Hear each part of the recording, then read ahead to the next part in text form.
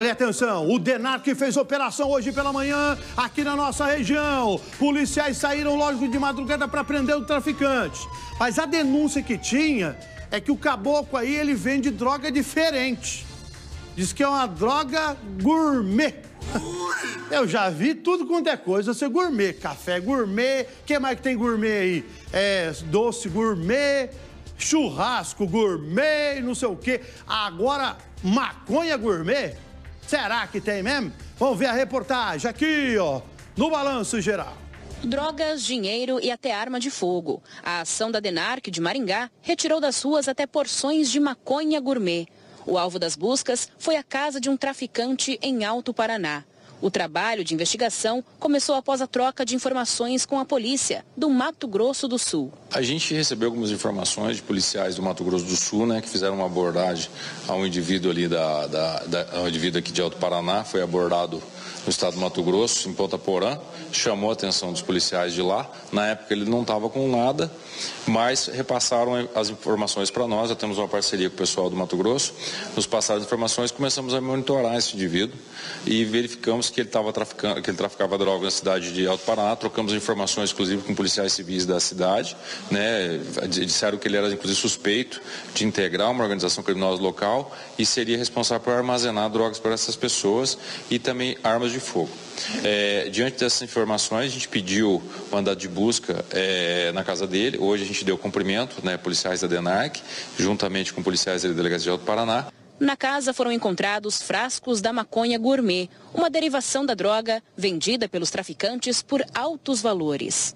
Essa maconha dele é uma maconha selecionada, é, chama de maconha gourmet, porque tem algumas essências, né, elas são é, é, provenientes aí de, de, de, enxertos, né, são, são plantas modificadas geneticamente, é, algumas da, da, própria flor, então o valor delas são muito maiores do que a maconha normal, e também tinha uma arma de fogo na casa dele e 3 mil reais.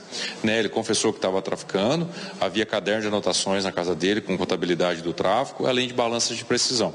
Ele foi conduzido para a delegacia de Alto Paraná, onde eu lavei o flagrante dele por tráfico, por tráfico de drogas, drogas e posse ilegal de arma de fogo, porque a arma que ele também tinha, disse que comprou no Paraguai, e a arma não tinha registro, então ele também foi autuado por posse ilegal de arma de fogo. O homem preso é apontado como distribuidor de drogas na região. O material apreendido deve auxiliar nas investigações que continuam. A gente sempre continua as investigações após as prisões para identificar né, eventuais fornecedores, se esse indivíduo integra a organização criminosa e agora as investigações vão continuar né, para chegar nesses fornecedores e, e eventuais associados a esse indivíduo que foi preso hoje. A DENARC de Maringá tem atuado em toda a região, em ações como essa, com a prisão de traficante e a retirada de drogas das ruas. O trabalho de combate ao tráfico, consequentemente interfere nos números de furtos, roubos e até homicídios.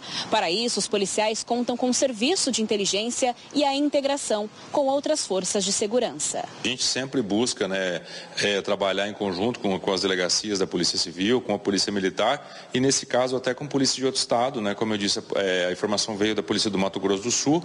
É, a gente trabalhando com integração, com troca de informações, o resultado é muito maior maior, a gente tem mais eficácia no trabalho e mais velocidade. Acaba tendo mais informações de tráfico e o crime acaba perdendo com isso. Né? A informação, o indivíduo poderia ser abordado lá no Mato Grosso e passasse despercebido, se não chegasse a informação para nós. Mas como houve essa troca de informações, isso resultou na prisão de um criminoso. Aí o delegado do Denarc falando, né? É a conversa, a polícia do Paraná conversando com a equipe do. Aí, para, para essa imagem aí. Essa aí é a droga gourmet. Não, tem de tudo também, pelo amor de Deus agora, né? Ah, vamos falar a verdade, os traficantes estão inventando de tudo, né? Olha lá, deixa eu ver, qual, ó, aquela ali é de banana, ó! Na hora de você fumar o cigarro de maconha, não vai ser cheiro daquela coisa feia, né? Aquele que nós sente aí nas praças quando a turma tá fumando maconha. Vai ser baunilha ou banana. Pelo amor de Deus, hein? Os traficantes não têm mais o que fazer, vamos falar a verdade, né? Sorte a imagem aí, ó. E o elemento lá de Alto Paraná tá na cadeia, tá no xilindró, droga apreendida, arma apreendida, elemento preso e ele já é conhecido lá no Mato Grosso também, né? Então, ele é conhecido lá e agora tá sendo conhecido aqui. E a novidade nessa história é a tarda Marconha Gourmet. É, mas é cada uma, né? Ainda bem que tá aí pra mostrar pra você, porque senão você fala assim, ô Sarcísio, o dia da mentira foi ontem, você larga de contar mentira na televisão. Porque nós já comeu carne gourmet, nós já comeu o que mais gourmet? É, é doce gourmet, o que mais que tem gourmet aí? Churrasco gourmet, agora maconha gourmet, vai pra lá plantar batata lá no meio da roça, no meio do pasto, né? O traficante tá preso e agora a polícia quer saber mais detalhes.